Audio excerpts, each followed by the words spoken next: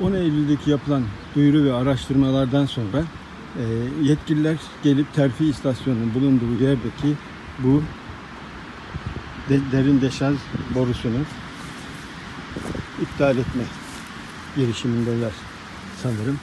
Bakın boruyu görmekteyiz. Balanı. Yine aynı şekilde kazınlar bulunduğu yine terfi istasyonuna bağlı derin deşarj sistemini görmekteyiz. Çok yakın bir mesafe. Temennimiz bu borunun tamamen iptal edilmesi, sergilenmesi, halka duyurulması çok önemli olacaktır.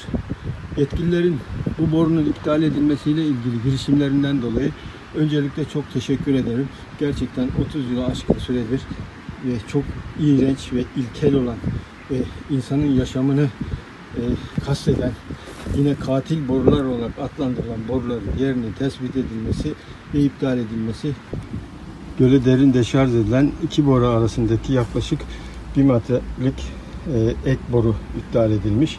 Bu yer altındaki bu borularında, kum altındaki bu borularında çıkarılması gerekmektedir. Burada da gördüğümüz gibi boruların çapını ve nasıl yerin kumun altına döşendiğini görmekteyiz.